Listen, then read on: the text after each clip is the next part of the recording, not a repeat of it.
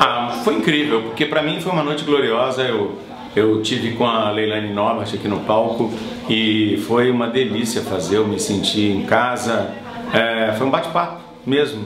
Eu, é, eu, não sou uma pessoa de inventar coisas, sentar aqui, contar um pouco da minha história, cantar as coisas que eu, que eu traduzi, que eu cantei durante a vida, foi uma sensação incrível. Foi um presente. Eu ganhei de presente do Miranda essa, essa oportunidade de, de estrear essa noite aqui do Cantos e Contos e foi muito bonito, muito bonito. Olha, é, a, a nossa vida, os artistas eu, eu, eu, acredito nisso sinceramente, a gente mata um leão por dia, especialmente quem faz teatro.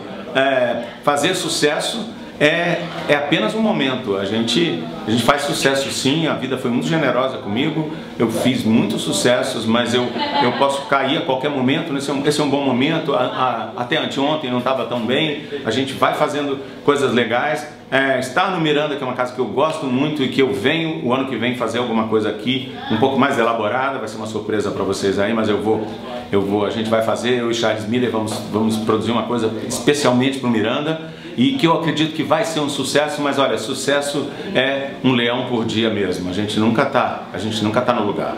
A gente tem que batalhar por ele todo dia. Miranda, a gente mais perto de você.